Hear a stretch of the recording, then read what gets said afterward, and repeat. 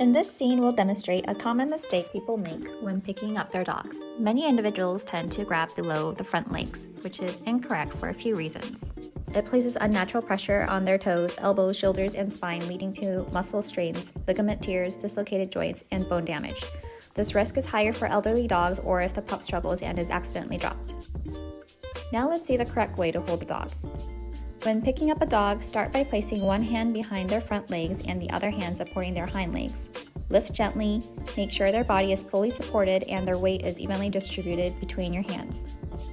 By carrying a dog properly, you're not only preventing potential discomfort or injuries, but also promoting a sense of safety and trust.